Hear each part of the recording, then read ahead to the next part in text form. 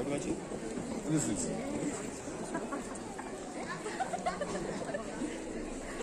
のる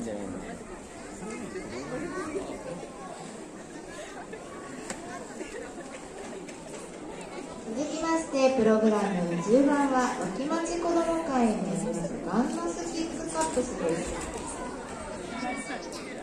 小学1年生から3年生の4人の可愛いワンノスキーたちがカップでリズムを奏でます。曲目は千本桜に挑戦です。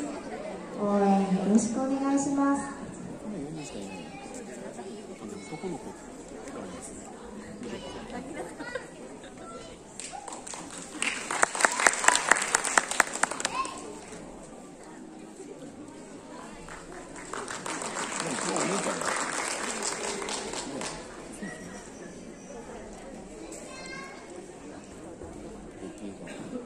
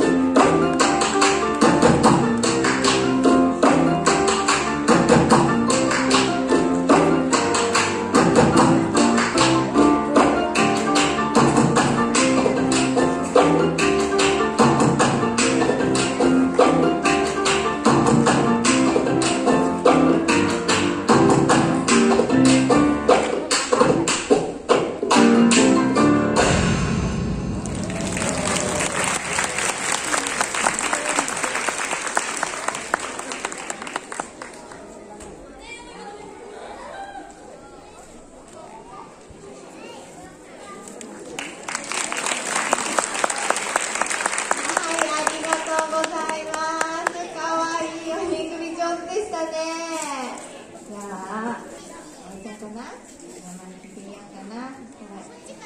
今日はみんなで練習してたのかな？お椅子に座って練習したのかな？うん、かわいいカラフル。これ誰が作ってくれたの？お花とかは。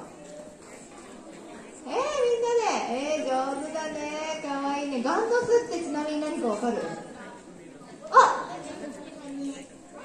そう、カニの巣なんです。皆さん知ってましたか？むあの昔はカニをガンと言ってたみたいで、カニの巣、カニがいっぱいいるんだよね。秋町さんはね。なので、ガンの巣キッズはそこから来てるみたいで、今日、今日知りました、すだれに。はい。ですね、お花たくさんいただいてます。お食事どころ、としさん。光清奏者さん。ルーズさんからいただいてます。これじゃあ持って帰ってね。今日はお疲れ